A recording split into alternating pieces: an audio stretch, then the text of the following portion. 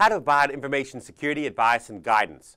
Well, you're going to review pending legislation that's out there, changing requirements, new laws coming in, new regulations, both from Congress, your state, your county, city, as well as from your industry.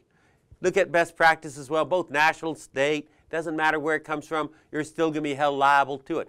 Debrief the results of risk assessments and security controls with security stakeholders. Look at your levels of risk. Decide if they're acceptable. The stakeholders know what they need, what they want. Stockholders want to make sure they get a dividend, the value goes up. Customers want to make sure they get a value delivery. People in the company want to keep their jobs safe. They know how much risk they're willing to accept. Because the more risk, sometimes the greater the gain, but also the greater the loss. Find an acceptable level. Assess any due diligence issues with security stakeholders.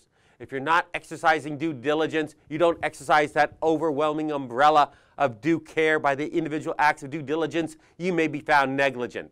Negligence gives rise to absolute liability.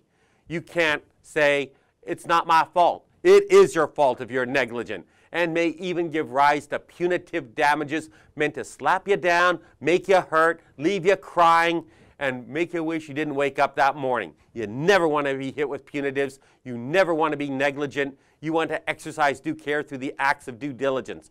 Examine your current information security policies and advise stakeholders of the results.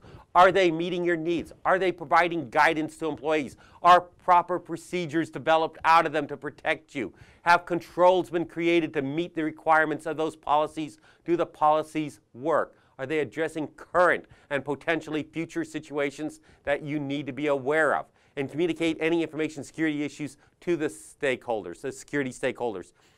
If they have the right information, they can make wise decisions. If they don't know, they're going to be clueless and do dumb things.